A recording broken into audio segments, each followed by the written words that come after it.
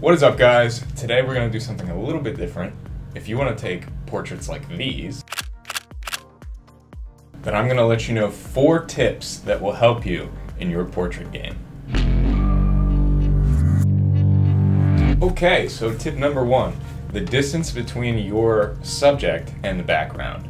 This is a much bigger deal than most people think because that background can be very, very distracting. If you have a portrait of somebody and you want the people that look at it to pay attention to who that person is, and you have a distracting background, well, they're going to be looking at that background instead of your person. Now, you don't want a boring background, that's for sure. You want something that adds to your photo and makes your photo all the more great. You also don't want a background that's going to distract people from your subject. You don't want people looking all the way over here or over here because that is more interesting than your main subject. You want your main subject to be the most interesting thing within the frame. Now, I have two examples of good backgrounds and bad backgrounds for portraits. Now, when I say bad backgrounds, I don't necessarily mean that you can never do this because it's an artistic choice and maybe you want to break the rule a little bit. So here's the first picture of me and my friend Tyler when we went to go play tennis. And as you can see, the fence is really, really close to him. He's standing pretty much right against it.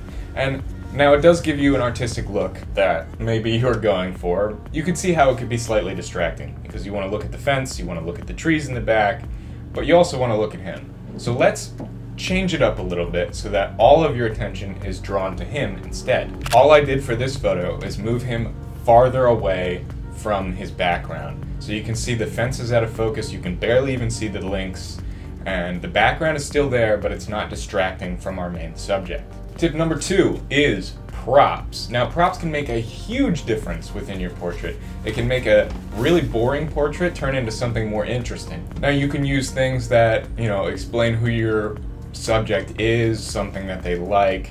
So when me and my friend Tyler went to go play tennis, it's a perfect plan to have him use a tennis racket and a tennis ball. So here we go. Here's the example for props. You can see he's going to serve. So he has the tennis racket in his hand, ready to serve, and he's got the ball in the air. Now, your main focus is still on him, even though there are props in the frame. But it creates an action shot and, you know, something a little more interesting than him just standing there like the previous photo. So tip number three is creative use of shadows. Now, this is a big deal when shooting in direct sunlight because it, it's a much more challenging thing to do to shoot at, you know, 12 o'clock noon than to shoot at 4 p.m. or 5 p.m. golden hour. Golden hour has nice light rays that come at an angle that isn't so harsh directly from the top.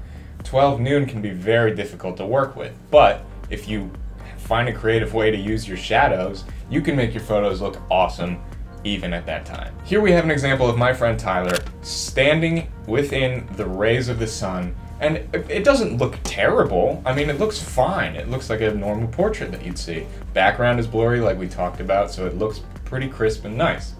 But if we change it up to this one, you can see we held a tennis racket in front of the sun, so we got slight shadows on the face there, just to give the shot something a little more interesting. You know, a, little different than what you'd normally see. That helps you stand out as a photographer. And you can do this with anything. It doesn't have to be a tennis racket. I've used a laundry basket before with the holes in it. Uh, I do it all the time for my flat lay photography stuff that I do on Instagram. You could use pretty much anything that would make shadows on your subject. And lastly, tip number four is foreground bokeh. So if you don't know what bokeh is, just a quick explanation. Bokeh is basically anything in your shot that's out of focus due to your lens. So that could be foreground or it can be background. Whatever's out of focus within your shot that isn't your subject, that's bokeh. So when I say foreground bokeh, I mean anything in the front of the frame that is not in focus, just to give your shot more depth and something interesting to look through. Now, a lot of the times this can be something called a frame within a frame. A frame within a frame is when you have a box that you're shooting through or something like that that frames your subject right in the middle so you can see it's almost like a framed painting on the wall. It just adds a little more, you know, catch to the eye. Now for this shot that I did right here, I didn't use a frame within a frame, but the foreground bokeh is the tennis ball. This also sort of falls under the props category because he's using the tennis racket. There's a tennis ball in this shot, and the background's out of focus, so you have a nice soft background that's pretty interesting. You know, a tennis court makes sense for the shot. No interesting shadows necessarily in this one, so I guess that one's out. But what we're focusing on here is foreground focus. So you can see that that tennis ball is out of focus.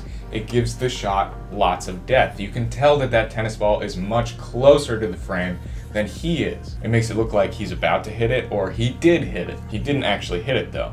So if you want to achieve a shot like this, what I did was I held the camera real low on the ground and I had him hold his hitting position after he hit a ball just so it would feel more natural.